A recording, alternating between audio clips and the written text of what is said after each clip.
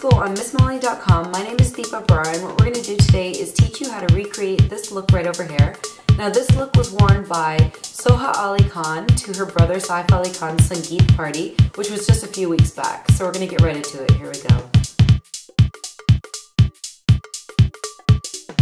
So you'll want to start with a golden eyeshadow, um, something that's a little bit lighter, and I'll show you a color on my hand, sort of like that. And then just use a flat eyeshadow brush to apply it.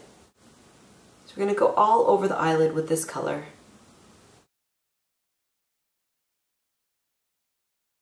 Now for the next color, go with something that's the same sort of tone but a little bit darker. So more of like a bronzy color. And I'm going to use a blending brush to apply it. Pick it up with your blending brush and you're going to go onto the outer half of the eyelid and into the crease. So you're just going to go back and forth with this. Now I'm going to use a little tiny smudger brush. So basically this is like an eyeshadow brush but really really small and we're going to pick up that color that we put right in the crease and go underneath the eyes with it. And I'm actually just going to the inner half.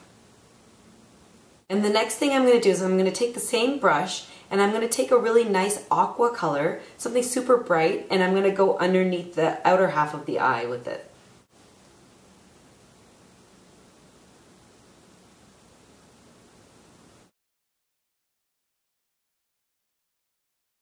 And the next thing you're going to want to do is grab an eyeliner brush, so anything that's sort of like nice and angled like this one. And you're going to take the blue and you're going to put it um, like a cat eye shape as liner above your eyelashes. So first just draw it along the lash line. And then when you get to the outer half, then you can thicken it a little bit. And draw your wing shape.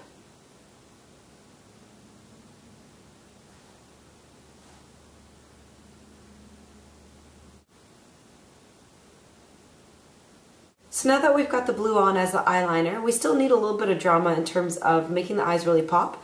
So what you want to do is grab a liquid liner that comes in sort of like a felt tip uh, marker and you're going to draw a really, really thin line just along the lash line. So stay super close to the lash line and just sort of press it along.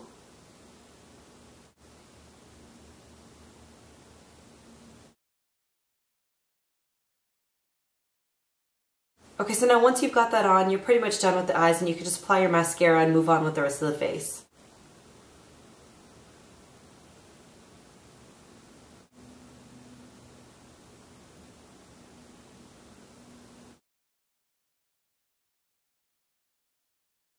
The next thing that we're going to do is apply blush and I'm just going to use a sort of neutral tone blush that has like a little bit of brown, a little bit of pink in it. I'm just going to pick it up with my blush brush and we're just going to go along the cheekbone.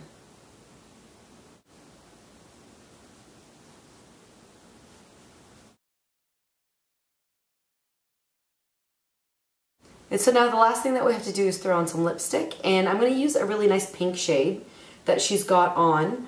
Um, it looks sort of like a bubblegum color but not as bright and it looks like that right over there.